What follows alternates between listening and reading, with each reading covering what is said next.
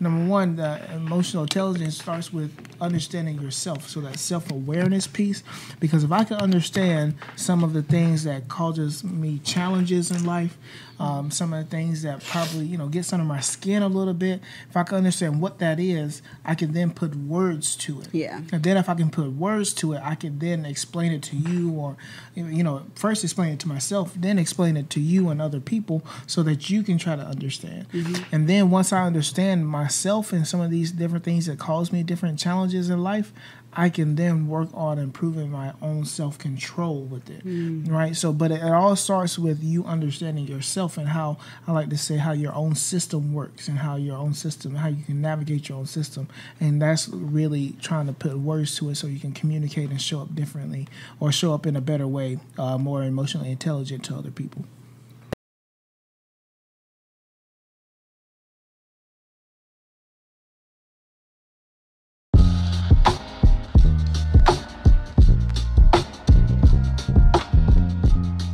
Hello, hello. Welcome back, everyone. It is Speaking with Gravity. I am Joshua, Hello, everyone. My name is Hannah. And what up? I'm Terrence. and we are your hosts of Speaking with Gravity. Uh, we're still in season nine. We're, what, five episodes in? I think this is our fifth episode. I believe Uh, I believe. Fourth or fifth episode. We, we, we, we getting there. We getting there. Uh, so so so great pace been been really interesting so far and I think we got another really interesting one uh, again for you today but I think that uh, what the people want to know from from you Terrence I think that that kind of actually leads us into what we're gonna be talking about today so we'll we'll let you start us off man please Yes, yes, yes. Back with another. What the people the people want. want. to know. I, you know, I gotta give the people what they want. You know, they, they want it from me. and you they want to know: Do women really want emotionally intelligent men? mm, good question What, what, what we think? let's ask one I um, want an emotionally intelligent man. However, I do recognize that um, sometimes I do recognize that I have to grow as a woman um, to meet the expectations and the needs and the wants of a man that is truly emotionally intelligent. However, I have not ran across or um, been introduced to a lot of men that are emotionally intelligent. It is a it is a rarity to me. It's Nope. very uncommon. the ones that are have you have you been introduced to ones that are Yes. what's your experience been like with them um, challenging simply because an emotionally intelligent man is going to um, is going to motivate you and um, he's going to motivate you to become a better woman emotionally. And as a woman myself and as women species we are already naturally emotional. And sometimes that doesn't look healthy. Sometimes that is unmanageable you know? Um, so already being an emotional species having a structured man come into my life and say, hey, like these are areas you need to improve on emotionally to be with me, that can be challenging. Um, however, I think it should be a two way street. You know, I can recognize some some areas that they need that he needs to improve on as well, and we can have those discussions. But it is challenging um, because it it encourages you um, and somewhat forces you to look at your weaknesses and become better. I, I definitely think it's a two way street. Um, to, but to answer the question, I think you know women do want uh, emotionally intelligent men, but question is, are they ready for an emotional mm. intelligent mm. man?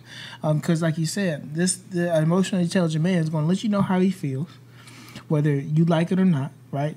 And that's not I'm saying like he's trying to bash you for anything. He's trying to communicate what's going on with him mm-hmm. emotionally, right? So he's going to let you know these things, and you have to be ready to receive that and not feel like it's an attack on you. Right. No, it's just me as communicating with you what I, about my emotions. Mm-hmm.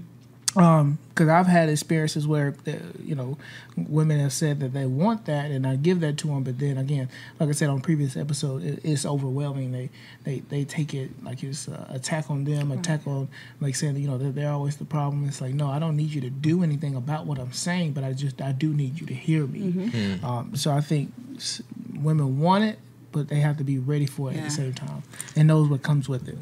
And in general, um, we have lived in a in a in a society for so long. Men have had to suppress their emotions, and they have had to suppress how they feel, and um, not have the um, the safe space to express how they feel internally. So with this transition to men, um, I'm not saying that men have not formerly been emotionally intelligent, but what I'm saying is now it's more normalized for a man to express their emotions.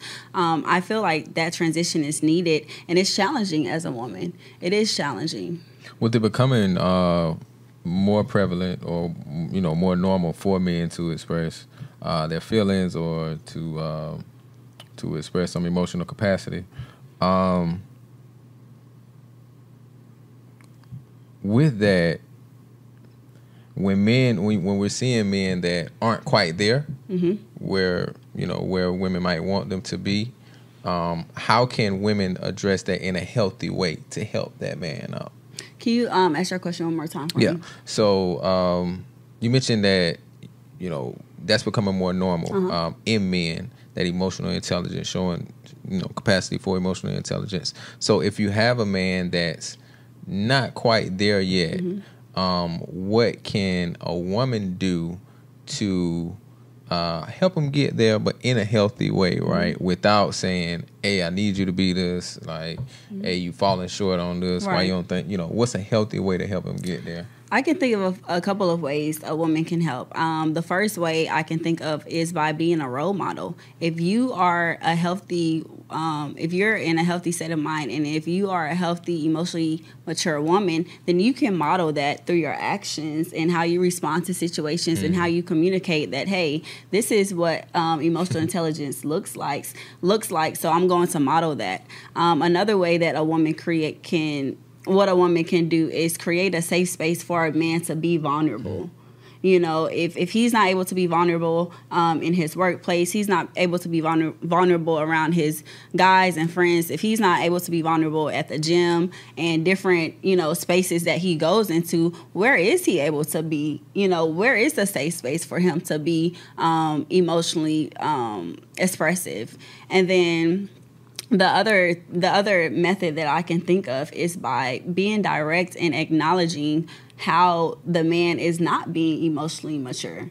Um, but with that, you have to be very sensitive and empathetic in how you convey that message because what you don't want is for someone, man or female, you don't want them to take defense and say, um, you know, well, well, I don't I don't operate and I don't express my emotions because I, w- I was never taught. Um, you know, you don't want them to automatically take defense to what you're saying simply by identifying ways that they can improve on their emotional intelligence.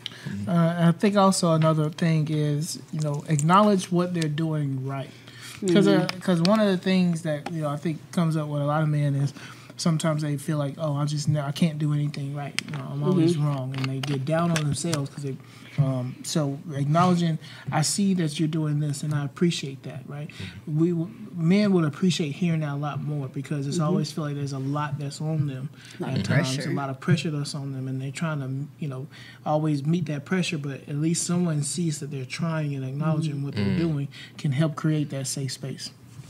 Beautiful, beautiful. I think uh, this kind of leads us into the cutie of the hour. You want to Let's do it. it? So the cutie of the hour is a quotable um, data or another version of a fun fact that you can share with um, individuals you know.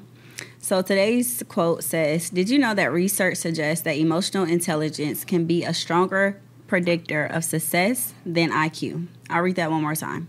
Did you know that research suggests that emotional intelligence can be a stronger predictor of success versus IQ? Studies have shown that individuals with high emotional intelligence tend to have better social skills, make more informed decisions, and experience greater overall being. Millionaire, millionaires have high emotional intelligence. And this comes from um, one of the sources that we'll list. You know, it made me think about that quote. Uh, it's not what you know; it's who you know. Mm-hmm. If you're good socially, if you can get around socially, um, if you got high emotional intelligence, sometimes that's the predicting factor. That's Mm-hmm. to me that quote speaks directly to um, to what you just read. I agree, and I just want to spend some time um, discussing the difference between IQ and EQ. So, um, IQ is what we know to have the ability to think. Um, what is your IQ score? Being able to get through school, not um, being able to have either a high Q level, and this cannot be earned. However, EQ, which is emotional intelligence, is the ability to feel versus the ability to think. Emotional intelligence gets you through life. Your um, this can emotional intelligence can also be learned. And let's see. IQ, which is um, relating to logical reasoning, cognitive functioning, your memory, how you're able to comprehend things, your math skills, um, your spatial thinking, and this can be influenced by your genetics. And on the opposite side, your emotional intelligence, this is identifying, perceiving, and regulating your emotions through a couple of different domains. So we talk about self awareness, self regulation, empathy, and social skills, like you were saying, Joshua. Um, and there's no standard standard standardized test that says, okay, this is how emotionally intelligent you are compared to IQ. You can take a test and receive a score and say, okay, my IQ level is you know high or it's um, medium. There's no standardized test for emotional intelligence. Beautiful. Yeah. Um, you know, so today, and so that's what we're talking about today, right? What is emotional intelligence? Mm-hmm. I think you really broke it down in a way where we can, like, uh, uh, see the contrast in it too, Mm-hmm. between emotional and intellectual. Um, so we're talking about what is emotional intelligence and why it's important in our personal and our professional lives. Um, and earlier we, we, we talked a little bit about personal. To me, we, definitely get personal. When we're talking about relationships. Um, first of all, to me, um, when we talk about emotional intelligence, uh, my thoughts are that it's it's intelligence that allows you to uh, kind of navigate emotional terrains uh, such as relationships, attitudes of self and others, difficult decisions, mistakes, problem solving, conflict resolution, all those type of things, right? But being able to navigate those from, um, you know, your your uh, what, what you know isn't always going to get you there, right? Um, but being able to navigate those is so important.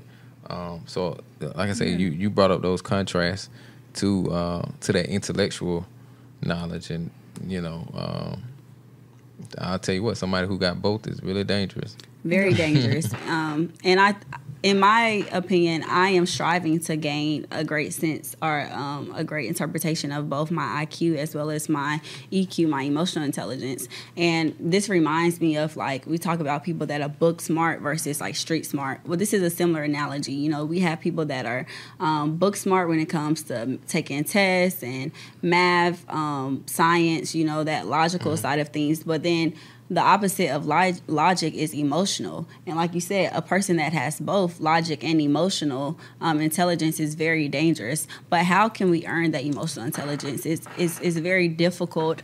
Um, and i'll speak personally like what emotional intelligence means to me is how we're able to and i'm going to use the word you use navigate certain spaces. How are we able to interact with people? Mm-hmm. How are we and let, let me go back. How how do we interact with ourselves? Mm-hmm. How are we self-aware? Mm-hmm. Um, how do we know our own you know traumas and our own situations our own triggers? How are we self-aware? It always starts with yourself. Mm. And then emotional intelligence to me is how we interact with the people around us.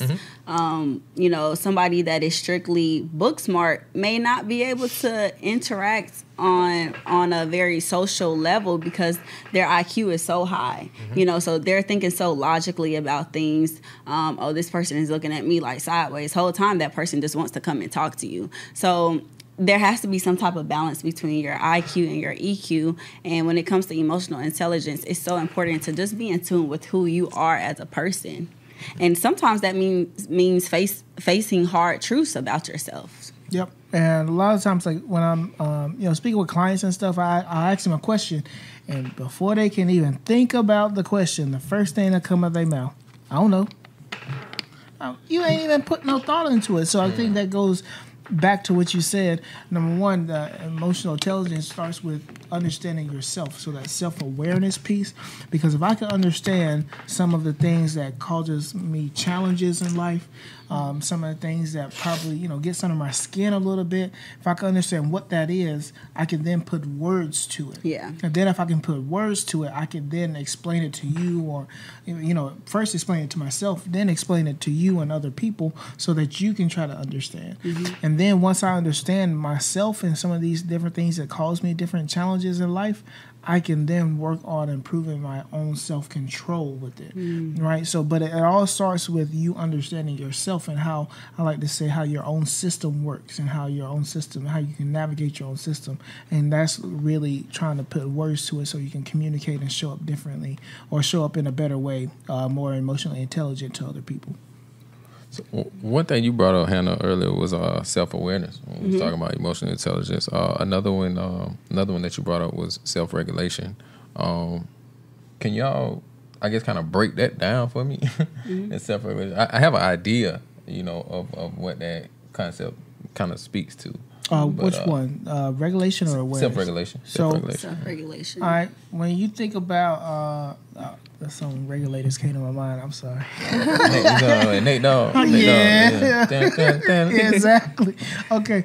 Well, when you think about regulate something, it means to, in a way, level out, right? So if if it becomes, you know, unbalanced, a regulator will bring it back to balance. So pretty much, pretty uh, self regulation is how can you bring yourself back to balance. So okay, somebody makes me upset, I get angry, so I'm I'm out of balance. So what am I going to do? And that kind of goes back to the episode we talked about building that your, your own coping kit.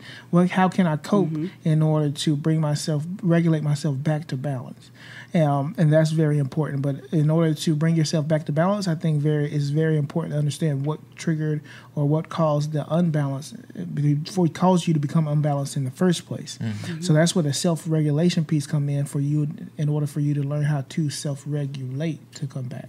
Just kind of like self managing, kind of. Yep. Mm, yeah. And so I heard you also mention, um, and I think what comes with self regulation is how you're able to control your emotions, not just in public, um, you know, when people are watching, but how are you able to control your emotions when you're in the room by yourself and things really hit deep? That's it You know, right are you going to punch a wall? Or are you going to say, I feel mad right now. Um, that is regulation. Um, and it all comes back to being healthy versus unhealthy. And I also heard you mention self awareness. I was spending some time on my phone looking for, um, in therapy, we- often use uh, emotion and emotions wheel. And what I was spending time looking at the name of this specific emotions wheel, um, but I couldn't find it. However, it is simply um, various emotions, and it all starts with core emotions such as happiness, joy, um, anger, sadness, and then from those core emotions,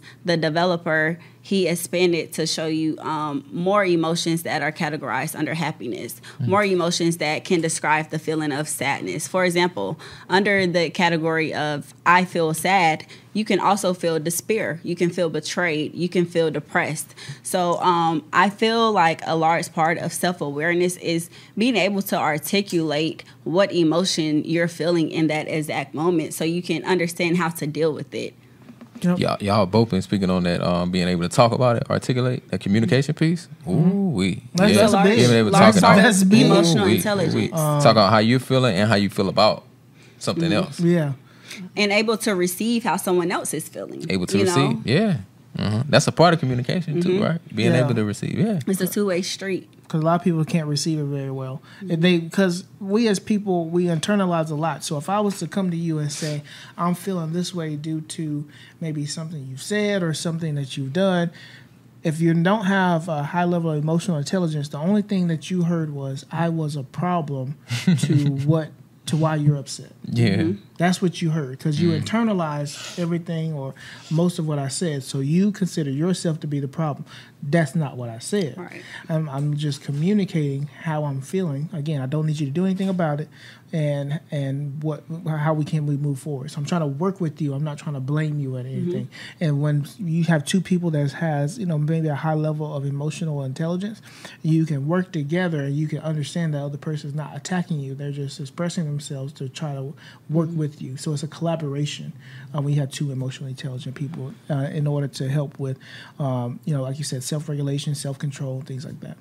And shout out to one of our producers, the um, one and only Curvin. He um, brought up the picture of the feelings chart. So if you want to Google feelings wheel um, created by Dr. Gloria Wilcox, W I L C O X, um, hopefully it comes up in Google. But some of the core values are um, surprise, happiness, sad, disgusted, angry, fearful, and bad. So those are just um, a couple of the core um, emotions that we experience. And as a child, you may ask a child, "How do you feel right now?" And they say may say something very basic. I feel happy. I feel sad. I feel mad or angry. However, as we become more emotionally mature, we're able to um, to categorize those feelings more in depth and more specific. Oh, not only do I feel happy, but I feel accepted. I feel powerful. I feel valued. I feel courageous. So those are just some examples of um, being able to be self aware of what emotion you're feeling in that moment.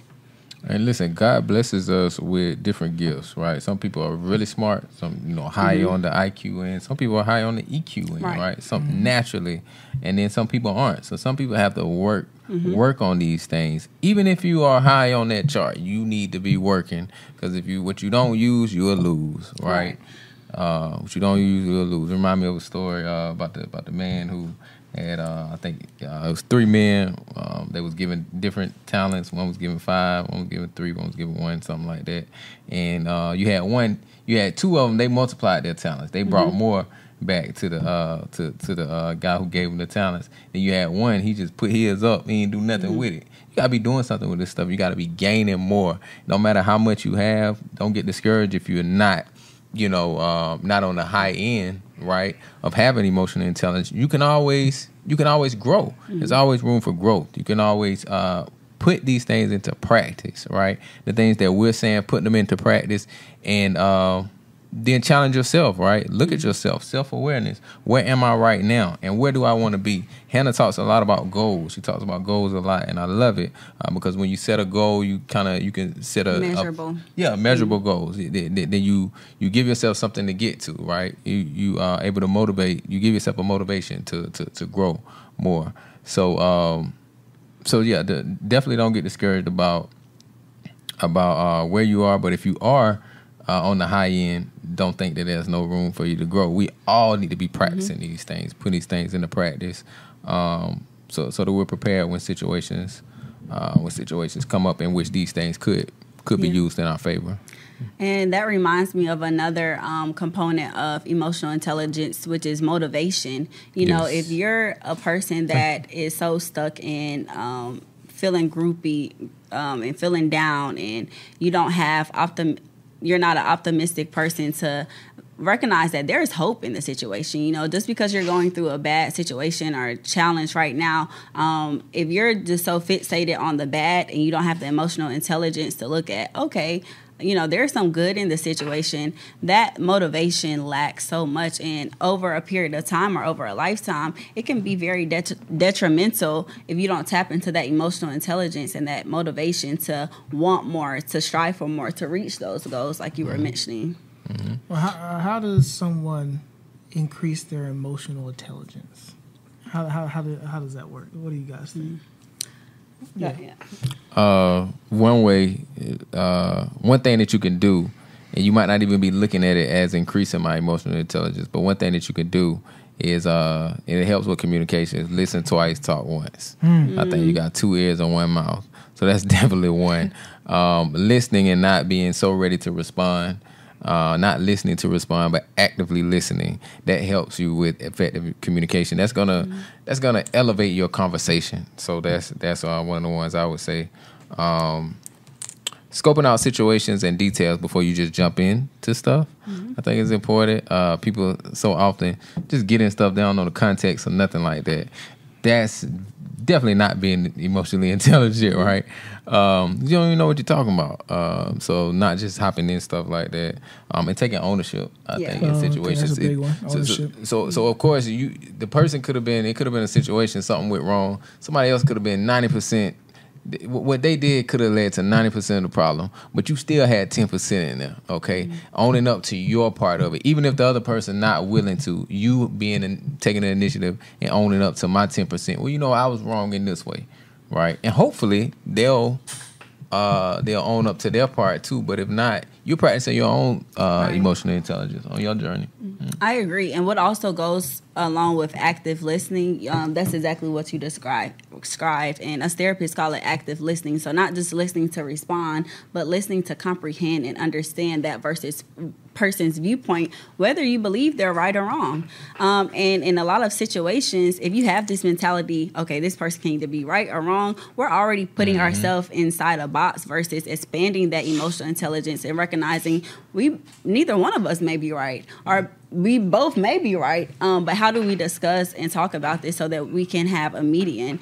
Um, another tool to developing emotional intelligence is asking questions and you know listening to constructive criticism. If other people if, if there's a pattern of people saying oh you lash out when, when you get mad There you go. you know and your parents told you oh yeah billy always lash out. He always punches the wall every time he gets mad. We just patched them up. And then you, you patched them up. and then you enter, you know, uh, college, and your roommates say, "Oh yeah, uh, I don't want to, I don't want to make him mad because he's going to lash out and punch a wall." Then you enter romantic Oh, Billy. relationships, and you still hear Come on, your Billy. romantic partner saying, "Oh, I'm afraid to make you mad because I know that you're going to lash out." Are you listening? You know, to that Billy constructive. He not listening. strong. Are you listening um, to that constructive criticism and more so inquiring about um, those patterns that other people see in you? You know, emotional intelligence comes with the good and the bad. Yep. You Yeah. know, we can we can be healthy and identify, you know, these emotions we're feeling, but are we able to comprehend when other people are telling us, okay, you got some patterns and some actions about you that you know are related to your emotion to your emotions that you may need to improve on. Getting defensive. right Yeah, there. that's that's the Mm-hmm. one main thing that I was definitely going to say is one thing that to help you understand if uh, in order to increase your emotional intelligence is to learn pat you learn your own patterns, Mm-hmm. whether those are good patterns or ne- uh, uh, patterns that are not so good that you can improve on. You know, the good patterns, of course, you want to do more of them. The patterns that are such as Billy hitting his wall, you might want to chill out with that, Billy. you know, so it, it's, the, it's watching patterns, and I tell my clients that all the time. I'm trying to ask you questions, and I want you to maybe even record some of these different things that you've uh, noticed or things that's causing you problems throughout the day, so we can figure out patterns. If we can figure out a pattern, we can figure out how to break the pattern. So I think that's one of the things that you can do to increase your emotional intelligence is to keep track of different uh, things that's worrying you, makes you anxious, makes you sad, depressed. So now that you can figure out a pattern, and so you can work on those patterns. I think um, other components that adds to understanding and developing your emotional intelligence is how well you adapt to change. What I've recognized is that individuals that have high emotional intelligence, they're able to um, recognize change, recognize that you know, you know, this this is abnormal or this is very different from my routine or um, how I normally conduct things, and how am I going to move forward? They have that motivation, um, that empathy, you know, in certain situations, and even the social skills to understand. Okay, who do I need to talk to? What resources do I need to reach out to, um, so that I'm okay, or so that me and my family are okay. So the ability to adapt to change. Something else that I've recognized is. Um, it just it just lost my mind, so I'm gonna have to come back to it. That, that happened to me la- last episode, I believe. So Do ain't, I- ain't nothing wrong with Do I that. be messing y'all up when I be like, that's a good one? Or I be like, no, I don't think that's it. Nah. Something it just, just you so just, much just going go. on. Like, Kind of like, kind of like we be in church. Amen. hey man, like, I got Kinda- dang it, kinda man. Like that. I done messed you up. My Okay, bad. I remember what See, it was. told Oh, you. see, there you go. There you go. So um, another component or Amen. something that I've recognized that is so important to emotional intelligence is the ability to apologize. Oh, I'm sorry. Come on, huh? Yes, it's something so basic, you know. It's something that can be so basic, but also so difficult at the same time. And you know, there's different levels to apologies. Some apologies are simple, and some are very complex. You know, if, if you really messed up, then that deserves a complex, um, a more a more in depth apology. And then, um, so yeah, your ability to apologize definitely determines your um, level of emotional intelligence. People that have low emotional intelligence, they're not quick to apologize. They may not even recognize that they're wrong wrong in the situation. Mm-hmm. Low emotional intelligence. Yep. On the opposite end, somebody that has high emotional intelligence, they're going to recognize what they did wrong in the situation. They're going to recognize how it, it impacted other people's emotions, and then they're going to take action to apologize and more so actions to change their behavior. And they I want to recognize. Mm-hmm. They You speak want on to. it. Some people don't even want to. Right, I don't right. want to know what Low I did Low emotional wrong. intelligence. Yeah, because I don't want to deal with that responsibility. I wish I had Of- some of nails addressing or that. because when Huh? she just clicked that thing, she said click. She did it a couple times. I didn't know. And so, Yeah. Mhm. Hey, make a beat for us. intelligence. Uh, Oh, uh, another one I think, man, we got a lot of good ones on it. Yep. Um, y'all got a lot of good ones. I say this. So the name of this episode is, well, the topic for it is understanding your why. I think taking time to ask why. I think is a good one. That's Oh, been a yeah, good that's one for me. one. Right, right, right. So why am I doing this? Why is this person doing this? Not judging. That's another one, judging. But why is this person doing this? Um, why is this the way that it is? Taking Right. time um, to really ask why. Mm-hmm. Is another. one. That's very important. And what I heard from that is what I've recognized is that who teaches you emotional intelligence? Oftentimes, you know, you develop it as a child. If you have emotionally mature parents, and they're going to teach you how to adapt to change, how to um, acknowledge your emotions, how to not suppress your emotions and express those emotions in a healthy way. But on the opposite side, if you don't have parents that have taught you emotional intelligence, you're responsible for learning it, you know, on your own. And Yes. one tip to do that is to go to therapy.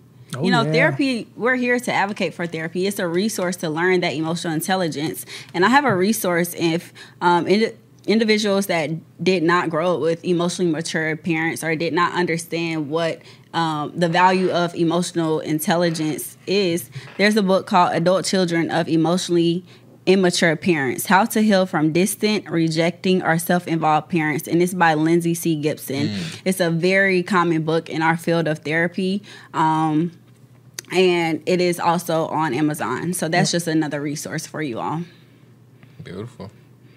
What's the name of the book? One more time.